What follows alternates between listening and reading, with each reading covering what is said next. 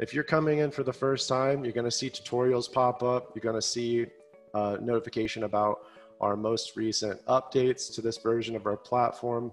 Here we need we need three pieces of, of information. If you look at those three pieces at a high level, you need what you're going to assess. So here I'm using SecureWatch. So we're going to be doing a facility assessment today. But again, you can do a vendor assessment. You can do uh, any, any type of assessment. You can have a scope uh, following the same process. You're going to need the people that participate in, in the process. So their email address. And you would need the criteria that you're going to evaluate them against. So that's the content library or maybe even your current criteria that you're using now. And we need to get that into the platform. So today we're just going to add a few records, right? We're going to add a person, we're going to add a, a facility. So I don't need to mass upload this data, but it's important to understand that if you had more than 10 of anything that you were going to add into the platform, you wouldn't add them one by one through the screen. You would mass upload that data. We call this a, a bulk upload. And how it works is we, we generate a template um, and we open that template up and we copy data into it. So if we have a list of people that we need to distribute an assessment to, we would populate that information in a template like this. We would uh, then save it, come back to the application, and then upload that template back into the platform. And we could do this with any kind of data. It can be a, a list of users, as I was just showing, or it could be some kind of criteria that you want to measure. Uh, it could be the areas that you want to target for assessment. So let's let's put in perspective that we have those things, right? We have the the people, the areas, and the criteria. Um, so let's let's create one area together. So I'm going to call this a, a facility. So let's say RiskWatch facility one. So this is one of many facilities that we have that we're going to assess. And in this process, I want to invite people into this assessment. So I'm going to select two individuals that I want to participate. If they're not in the platform, we just click the plus symbol and we, we add them in. And by default, they'll only have access to the area, this facility that I'm associating them with. So these other individuals in here will not have access to this area. Uh, this is least privilege, security built into the platform uh, throughout the process. Um, so here we're going to assess that RiskWatch facility. I could do a bunch of different facilities here if I wanted to. So maybe I have uh, 50 sites that I want to assess or 50 vendors or uh, 50 clients. Um, I would have that information organized here and I could assess them all in one single motion. I could say, look, I want to address this criteria across all of these different areas.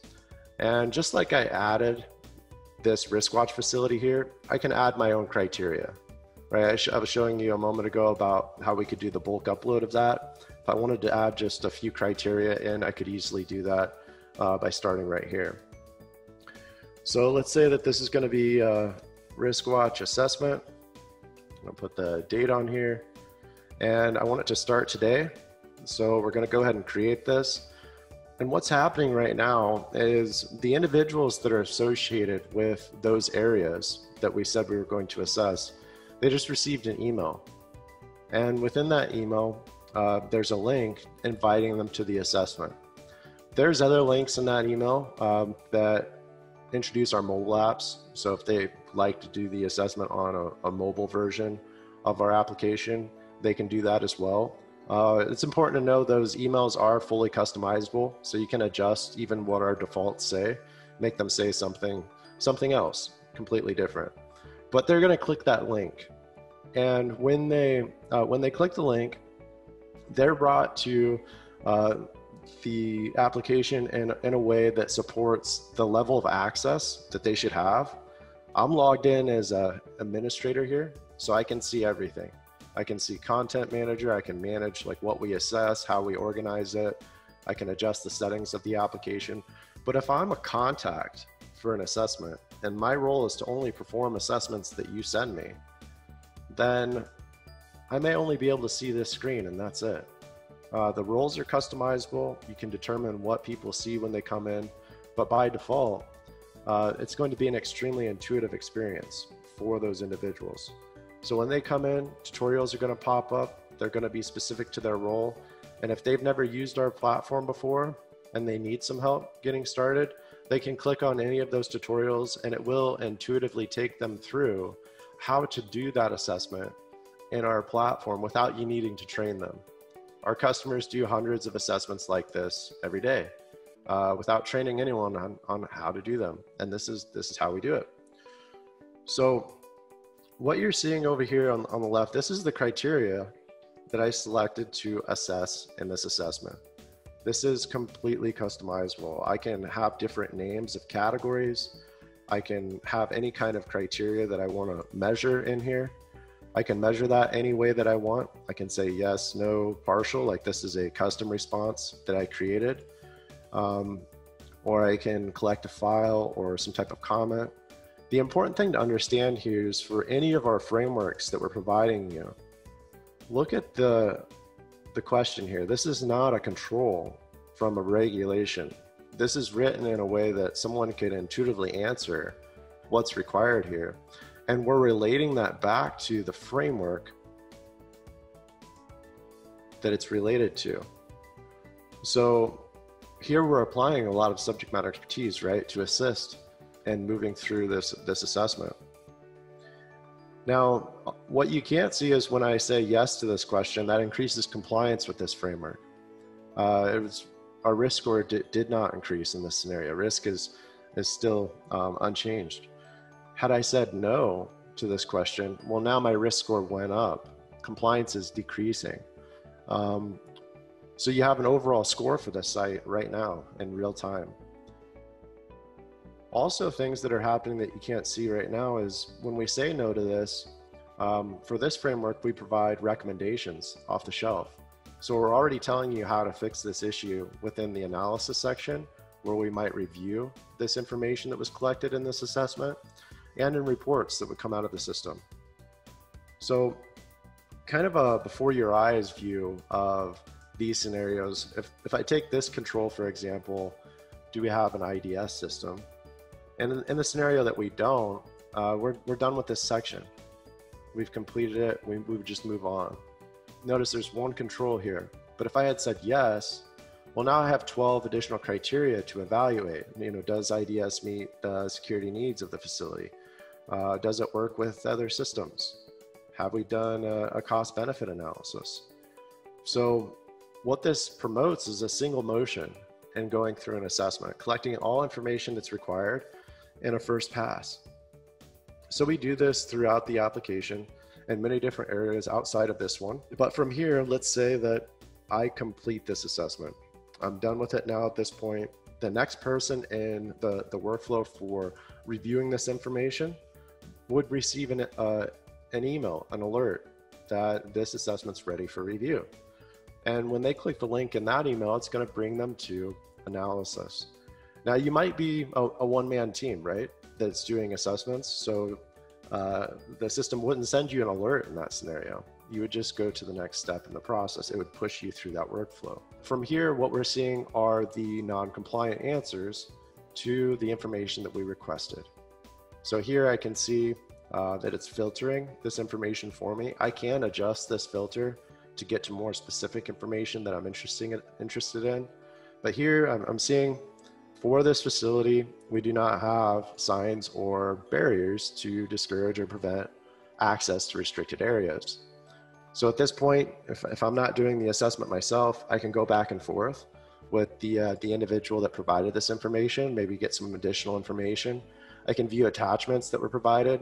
You know, if someone took a picture or included some, some type of file, maybe I'm doing more of an audit rather than um, an assessment um, I, I could have collected that information, forced that file to be provided in the event that they said, yes, we have policy, right? In a scenario like that.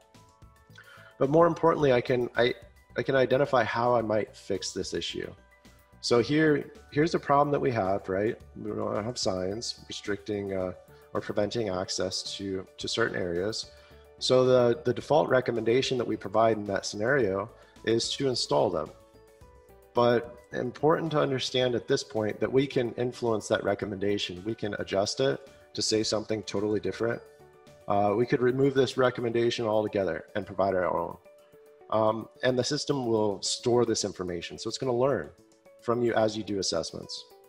So from here, in the event that we uh, find and want to fix a few things, we can manually create an activity now that would uh, communicate what we found and what we need to do to fix this issue with anyone.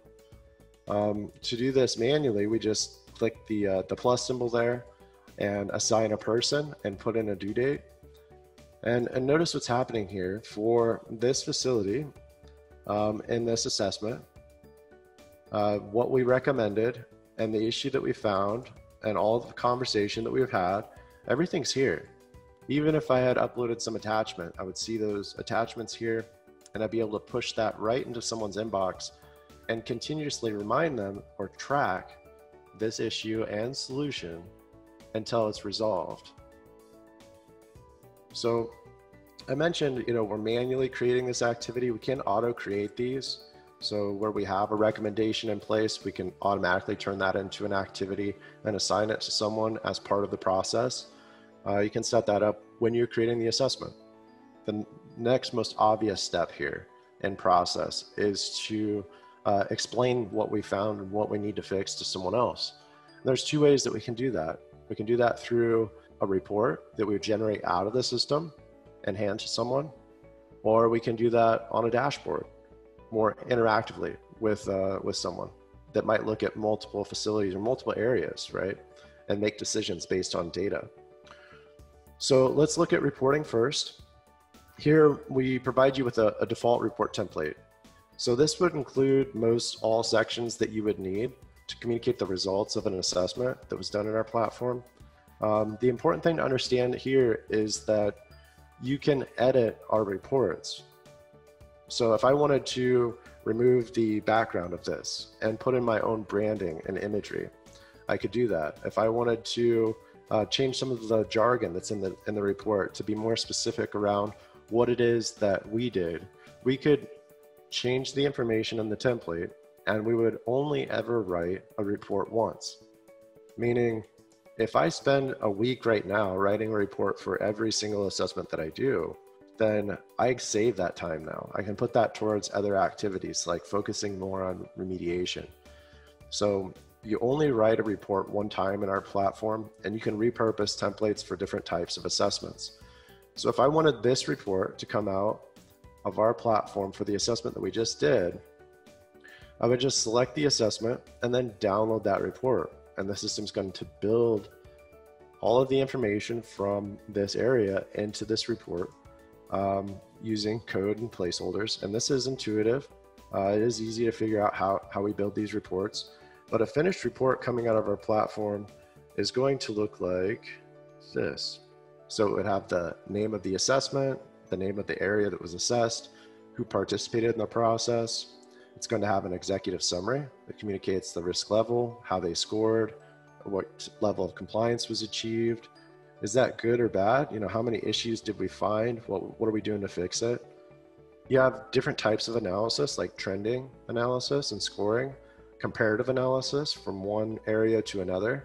So it's very easy to see that this area is at lower risk than most all the other areas that we have performed assessments out of the gate. So maybe this area doesn't get the funding.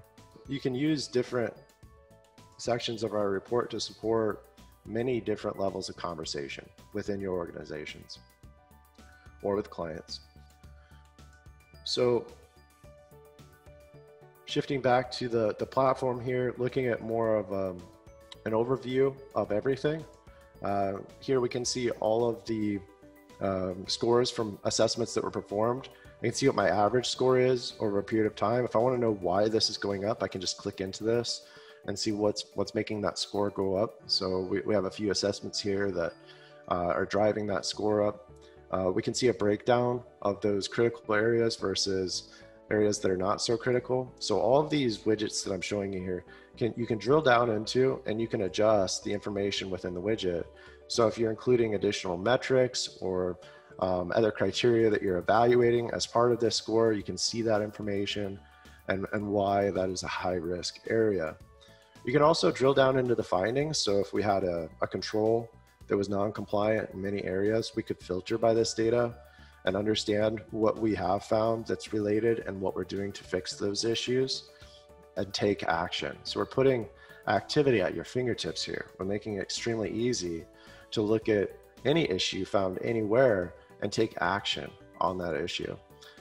And then from here, we can see process in real time. So we know where our assessments are at, where our activities are coming out of assessments. And we can look at how we've organized our data and we can drill down into it. So this is like structure or typing or just other classifications of data that, that you're assessing in the platform.